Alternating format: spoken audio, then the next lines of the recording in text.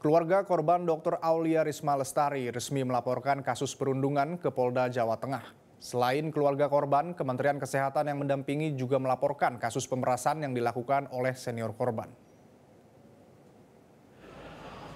Bersama dengan ibu korban serta adik kandungnya, kuasa hukum almarhumah Dr. Aulia Risma Lestari resmi melaporkan kasus perundungan hingga menyebabkan korban meninggal dunia ke Polda Jawa Tengah.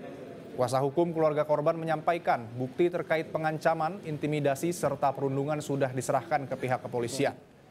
Adik kandung korban juga mengakui adanya pengancaman yang diterima oleh kakaknya saat menjadi mahasiswa PPDS anestesi Undip sejak pertengahan tahun 2022.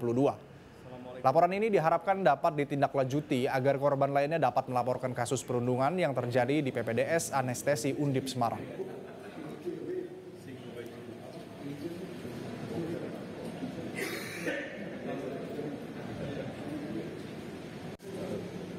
Kuasa hukum keluarga Dr. Aulia Risma disebut mendapatkan intimidasi dan teror dari sejumlah pihak. Itulah yang menyebabkan pelaporan soal perundungan Dr. Aulia Risma baru dilakukan pada Rabu pekan lalu. Keluarga tidak mau membuat laporan karena masih terintimidasi. Kita terintimidasi oleh siapa? Yang Ini yang sedang kita gali Bang Hotman.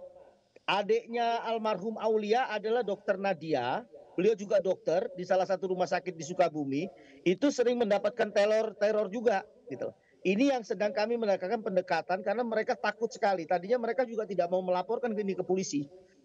Oh, Sebelum begitu. saya berangkat ke kantor polisi untuk melaporkan, mereka minta jaminan dari uh, menteri uh, apa menteri kesehatan untuk mereka mendapat jaminan keselamatan, menjamin dapat jaminan bahwa ini akan diproses tuntas. Mereka menulis surat dan Hari ini juga surat dibalas oleh Menteri Kesehatan bahwa Menteri Kesehatan akan Jelajahi cara baru mendapatkan informasi. Download Metro TV Extend sekarang.